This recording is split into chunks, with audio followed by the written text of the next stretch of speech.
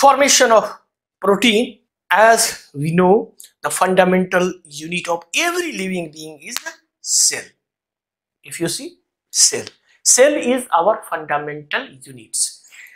Another if you see here cell. Cell contain various uh, organelles uh, uh, various parts like the mitochondria golgi body and etc. But it has a, a, a nucleus and so if you see here nucleus then in nucleus nucleus contain you genome and nucleic acid. So each and every contain genome contain chromosomes and these chromosomes like the our humans and all that uh, about 23 uh, pair of the chromosomes. And these chromosomes if you see here its chromosome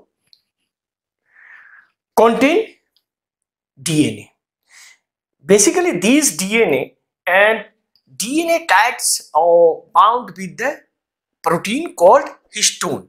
See here. It is histone and it is DNA if you see here.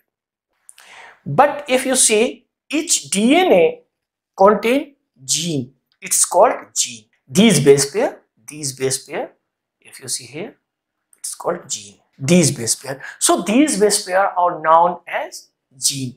So basically the modification of these genes like the base pairs is called genetic engineering and all that. So but it play a very very significant role for the formation of the protein. And finally after uh, uh, uh, these editing these messenger RNA go to the cytoplasm.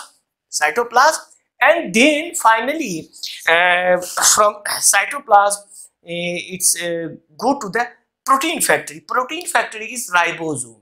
So it's also known as if you see the what is known as the protein factory. So ribosome known as the protein factory. So go to the ribosome. So these messenger rna goes to the uh, ribosome and finally uh, uh, produce amino acid. And finally these amino acids when completed 20 amino acids make protein. So that's why basically these protein. So it's protein. So these proteins are play a very vital role in the life process in the human being and all organism. Hey what are you waiting? Subscribe this channel and share this video. Thanks. Thanks a lot